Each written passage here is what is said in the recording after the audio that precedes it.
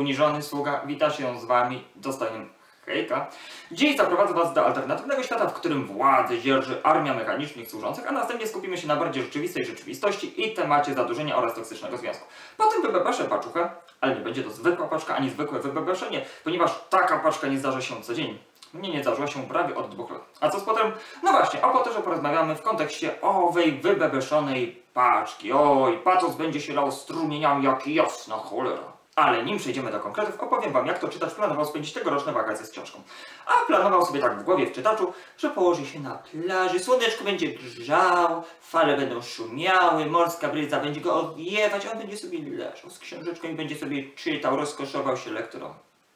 To sobie poczytał, jak jasna cholera sobie poczytał. Albo ganiał za dzieciakiem, albo spierdzielał przed deszczem, albo ganiał za pierwotną potrzebą jeść. Wiecie w ogóle, jak trudno jest nad morzem znaleźć coś konkretnego i taniego do jedzenia? Bywały chwile dramatyczne, kiedy czytacz czuł się jak porzucony w zupełnie obcym kraju, gdzie wszyscy szprosią Deutsch. I tylko znajomy widok Biedronek utrzymywał mnie w przekonaniu, że jeszcze jestem w Polsce. Nie żebym się lękał za granicę, ale ojro są takie drogie, że wow. I teraz jest ten moment, kiedy wypadałoby skończyć to bajdurzenie i to ględzenie o pierdołach i czas skupić się na książkach. A zaczniemy od książki polecanej przez samego wielkiego i dostojnego George'a R. R. Martina, mechanicznego Iana Tregilisa. W XVII wieku naukowiec oraz zegarmistrz o nazwisku Huygens, albo coś w tym stylu, stworzył pierwszego mechanicznego człowieka, by ten służył ludziom. Wkrótce Holandia zyskała sobie armię takich mechanicznych żołnierzy i, jak łatwo się domyślić, stała się potęgą na skalę świata, a nawet i Europy. W 1926 roku już tylko Nowa Francja stara się opierać potężnej Holandii. Francuzi walczą o swoje przekonania, o swoją wiarę i starają się wywalczyć prawdziwą wolność i niepodległość. Po pokoleniach nieustających wojen i bitew wreszcie dochodzi do zawarcia bardzo kruchego porozumienia.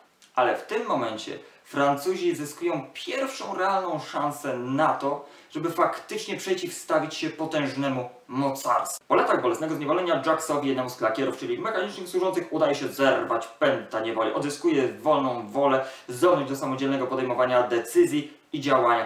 Czy to zapoczątkuje proces wyzwolenia jego gatunku? Czy to zmieni zupełnie oblicze tego świata i obali wielkie supermocarstwo, jakim jest Holandia? Historię poznajemy z trzech perspektyw. Rzeczonego Jacksa, pastora Wisera, któremu jako jednemu z niewielu ludzi leży na sercu dobro ludzi mechanicznych oraz Berenice, buntowniczki walczącej o nową Francję, walczącą o upadek Holandii.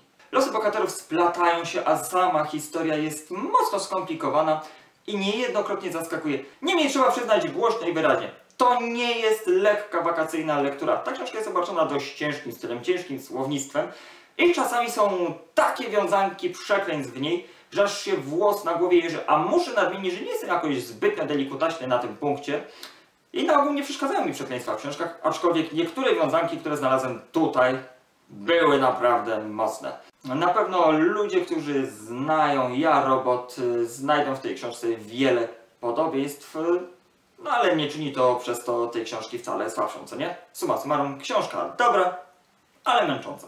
No i wracamy do rzeczywistości. Tym razem na tapecie pojawia się Zadłużenie. Druga książka If Einsort, y, autorki Siedmiu Dni. Kolejna książka, w której zmagamy się z poważnym problemem, tym razem z zadłużeniem miłosnym. Anna nie uważa się za nikogo wyjątkowego, jest zwyczajną dziewczyną, dlatego kiedy Will, szkolny przystojniak, ciacho i w ogóle bożyszcze tłumów, zwraca na nią uwagę, dziewczyna czuje jakby wygrała los na loterii, czuje się wyjątkowa, doceniona. Wkrótce zaczyna kwitnąć między nimi uczucie, ale z czasem okazuje się, że Will nie do końca jest taki nieskazitelny. On nie szuka dziewczyny dla siebie, lecz ideału. On szuka kogoś, kto będzie mu bezwzględnie posłuszny, nad kim będzie mógł sprawować całkowitą kontrolę.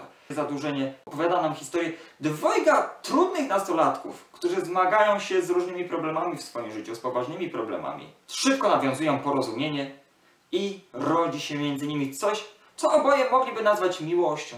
Ale czy to, co między nimi jest, czy to, co zrodziło się między Anną a Willem, rzeczywiście zasługuje na miano miłości? If Ainsford po raz kolejny udowadnia, jak dobrze zna młodzieńcze problemy. W siedmiu dniach skupiła się na problemie nękania w szkole, tutaj skupia się na problemie zadłużenia. Problemie nie mniejszym.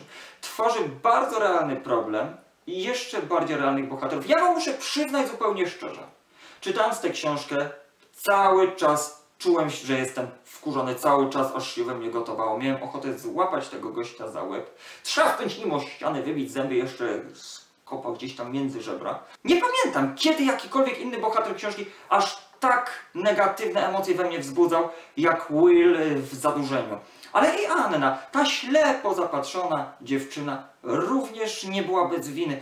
Czytając tę książkę wiedziałem, że to jest realny problem. Wiedziałem, że nie jest on wyssany z palca, że takie rzeczy faktycznie gdzieś się dzieją, takie rzeczy naprawdę mają miejsce, niestety. I w Einsport w genialny sposób zwraca na takie rzeczy uwagę, która pokazuje, że są problemy wokół nas. Mocna książka, naprawdę mocna i warto ją przeczytać. Warto się zapoznać zdecydowanie z twórczością, całą twórczością i w Einsport, bo autorka po raz kolejny nie zawodzi. Będzie się działo.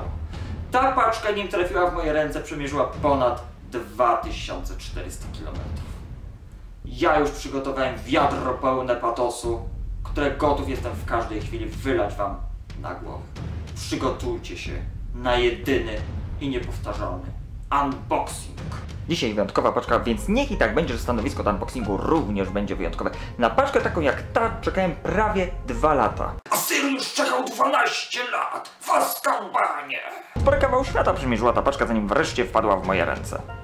Skoro paczka jest wyjątkowa, nie wypada otwierać jej w iście barbarzyński sposób, do jakiego przywykłem, dlatego dziś do otwarcia paczki użyję tego. Tudzież bardziej mongolskiego zamiennika. Nie żebym nie potrafił czarować, po prostu yy, krępuję się przed tłumami.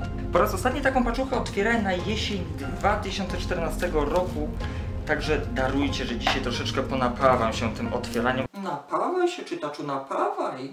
O ile w ogóle uda mi się otworzyć, bo zauważyłem, że bardzo często paczki o, wszystko leci. Paczki z zagranicy są dużo bardziej zabezpieczone niż nasze.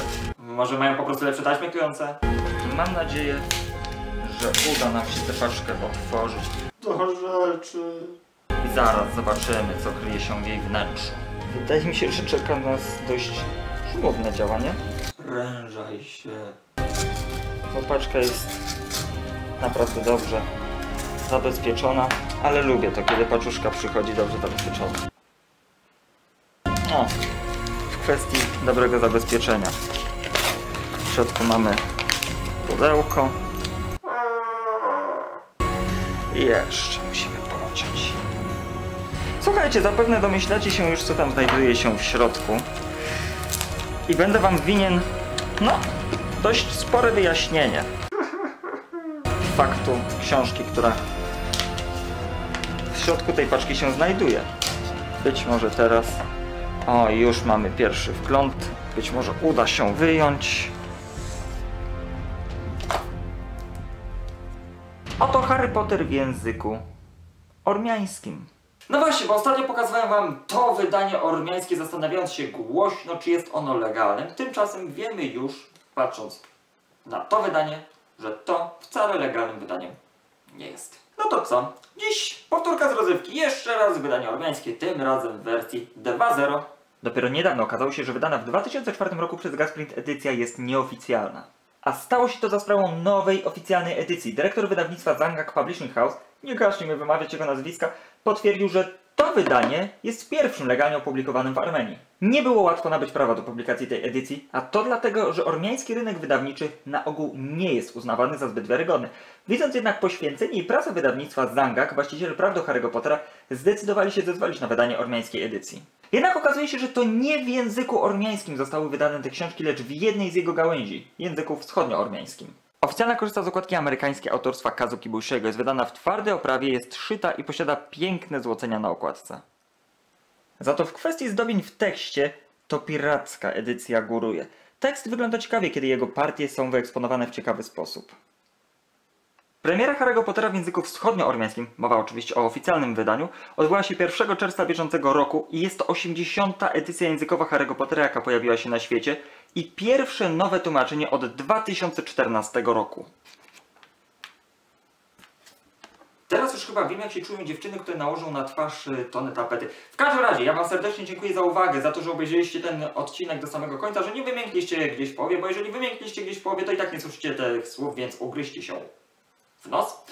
Tradycyjnie oczywiście zapraszam Was na nasze profile na Instagramie, Snapchacie, Twitterze oraz na Facebooku, a także zapraszam do subskrybowania tego kanału. No i cóż, trzymajcie się ciepło, nie dajcie się zniewolić, pamiętajcie, miłość jest najważniejsza. Do przyszłego tygodnia. Cześć.